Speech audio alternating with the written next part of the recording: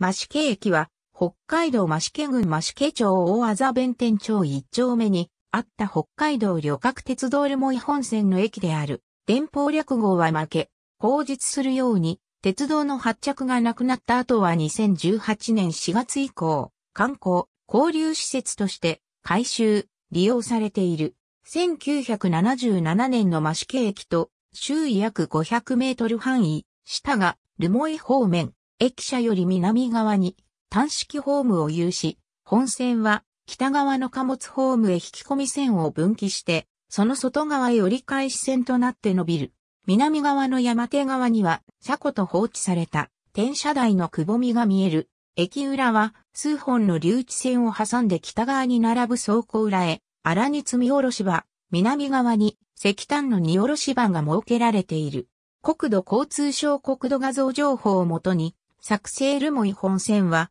良好のあるルモイへの路線として建設されたもので、また合わせて、ルモイ港の修築は1910年に着工していたが、ルモイは波が荒く土木技術上の問題から整備に時間を要し、鉄道が開通しても港が完成しない事態が予想されていた。そこで港を早く使える増家まで、ルモイ本線を延長することになり、当駅が開業することとなった。鉄道開通以前には、ルモイ駅から増家まで乗り合い馬車が出ていた。1918年に、運賃は80銭で、冬には馬乗りになった。駅構内の様子広大な貨物用側線の跡地が、広がる廃止時には一面一線のホームを持つ、行き止まりの地上駅であった。無人駅で、ルモイ駅が管理していた。以前は、広い構内で、貨物用側線と、ルモイ川200メートルほどの位置に、転車台が付設されており、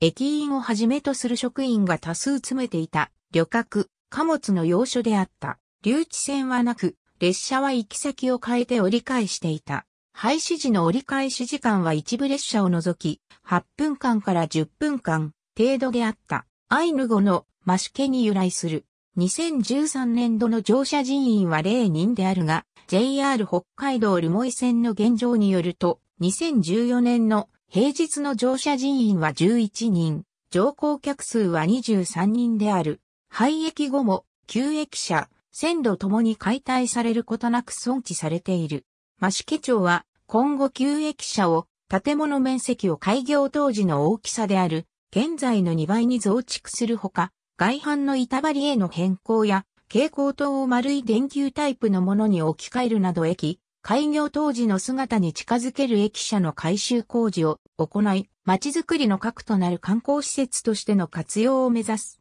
計画が策定された。写真や住民の記憶をもとに、旧駅舎に近い建物が復元され、2018年4月にオープンした、益毛駅入場券、北海道旅客鉄道留萌本線橋別駅、益毛駅、ありがとうございます。